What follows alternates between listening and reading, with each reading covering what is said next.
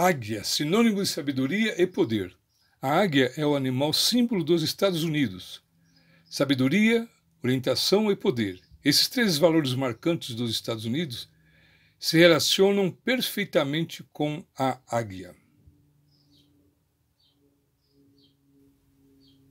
Apresento a vocês essas três lindas moedas de um quarto de dólar. Esta aqui de 1983, né?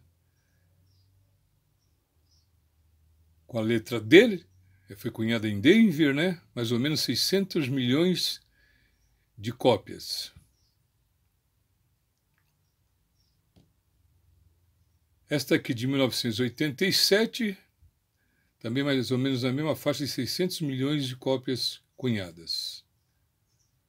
Também com a letra D.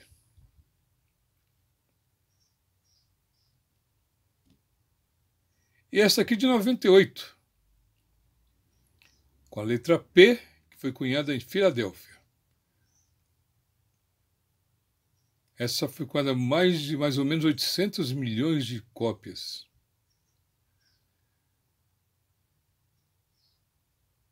Eu decidi fazer uma visita ao meu amigo Lau, proprietário da Lau Lanches, e ele me presenteou com essas três lindas moedas dos Estados Unidos estão muito bem conservadas e eu fiquei muito feliz com esse presente, né?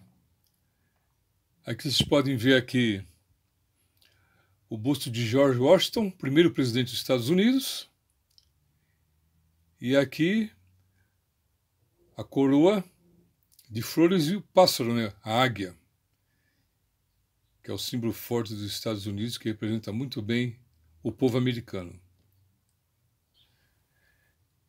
A moeda, como vocês estão vendo aí, são de bor serrilhado, cobre com revestimento de cupro níquel, peso 5,67 gramas, diâmetro 24,26 milímetros, espessura 1,75 milímetros.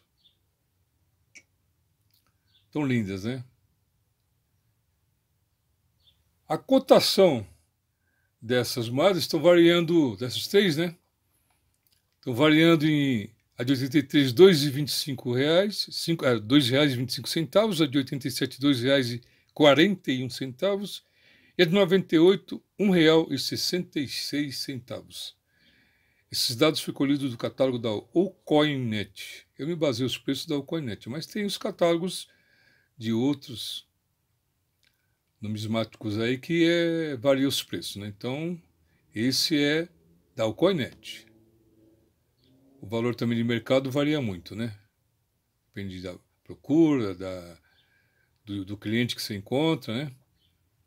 O meu canal é um canal de colecionador que usa as moedas para fazer vídeos. Por enquanto, não estou negociando nenhuma moeda. Muitas vezes o pessoal fica pedindo para dizer o preço, para se eu quero comprar, para me entrar em contato. No momento, não estou preparado para esse tipo de coisa, não.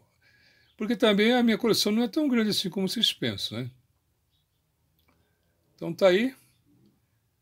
Agradeço ao meu amigo Lau, lá da Lau Lanches, por esses três belos presentes. Espero que vocês tenham gostado da apresentação das modas americanas. E estamos juntos, né?